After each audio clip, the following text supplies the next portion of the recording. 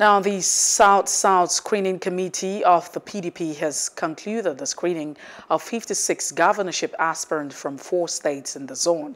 The exercise, which started on Thursday with expectation to screen 57, ended Friday with the screening of 56 aspirants from across Rivers, Delta, Akwa Ibom, and Cross River states.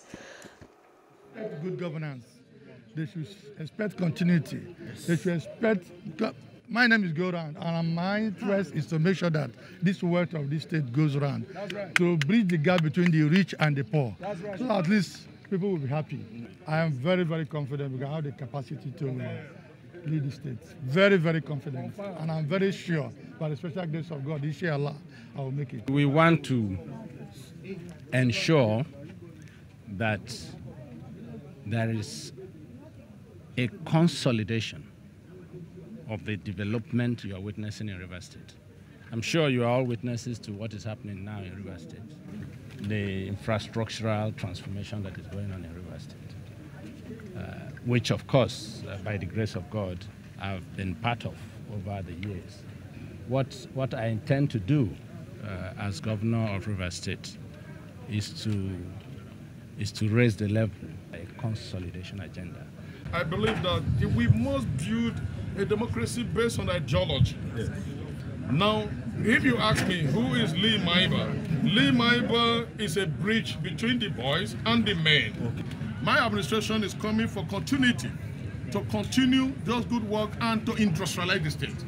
My purpose of coming into this state is to make sure that in adding to all what the governor have done, we continue to up the state at the industrial base of the Niger Delta and at the industrial base of of South-South Nigeria and by, and by extension the industrial base of Nigeria. I want to summarize what we're going to do in two words, continuity and consolidation. Whilst we look at other sectors of government, we must also continue with infrastructural development and urban renewal. The way of generating money in rivers internally is to manage the nuisance value or our nuisance value. That has not been exploited. That has never been exploited. Yes, and that can also create employment itself.